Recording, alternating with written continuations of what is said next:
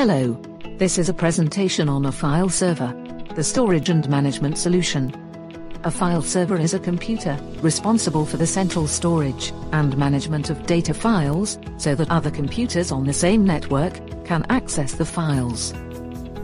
What is a file server in more elaborate terms? A file server is a computer attached to a network that provides a location for a disk access that was never shared. Storage of computer files, such as text, documents and flyers, can be accessed by the workstations by being able to reach the computer that shares the access through a computer network.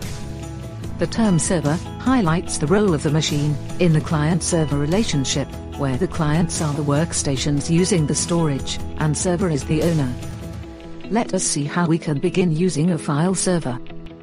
From the Start menu, in the All Programs section, select My Computer. And if you are using Windows 10, use the shortcut Window plus E. In Windows 7, in the My Computer window, right-click on the computer icon, and select the option called Map Network Drive. The steps in Windows 10 are similar, except that My Computer is called this PC. Select Map Network Drive. In both Windows 7 and Windows 10, you will be prompted to enter your folder ID for the folder that you want to map. After you enter your folder ID, you will be required to enter the network credentials to connect to the file server, both for Windows 7 and for Windows 10.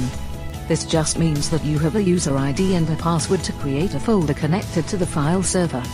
When you are done with this, you will find your shared drive, as shown here.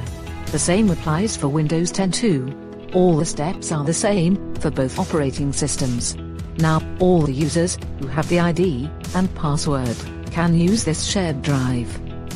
In both Windows 7 and Windows 10, we should only upload documents. Images, audio, and videos are not allowed. So, that is all about file servers and how to map a drive to a file server. I hope you understood using file server for both Windows 7 and Windows 10.